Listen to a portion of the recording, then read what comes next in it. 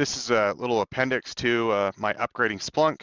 Um, one of the one of the questions was, how do I migrate from a uh, Windows version to a Linux version or a Linux version to a Windows version? And I'm I'm going to tell you my simplest method for doing it, and I'm also going to give you my general rule of thumb.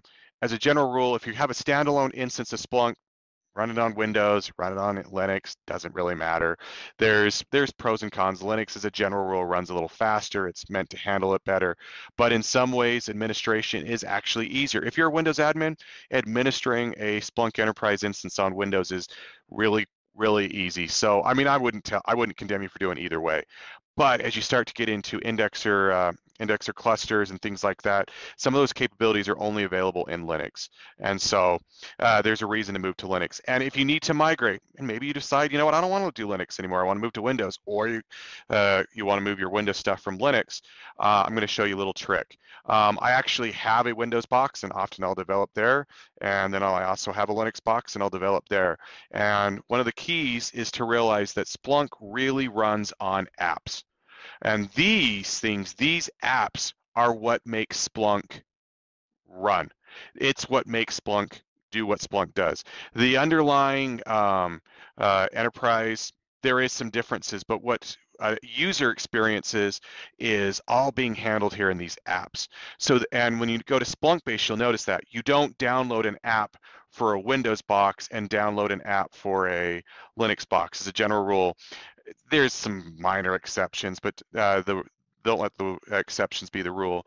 You download an app, and it's just a bundled up bunch of config files. And so if you want to be able to move from a Linux environment to a Windows or Windows environment to a Linux, all you need to do, let's get this cleaned up here. You're going to want to go to your Splunk instance and go to op Splunk etc if you're on Linux.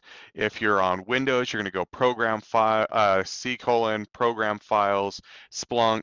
Um, I mean, you'll see it all the time in reference. They'll call it the Splunk home, but whatever that is, in my case, being Linux, it's op Splunk. Uh, you'll go etc apps.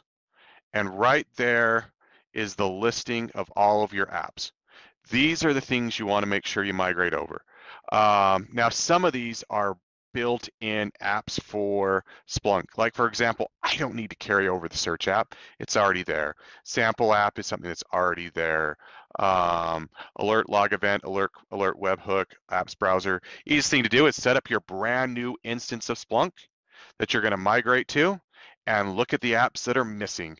Those are the apps you can copy and paste and move over.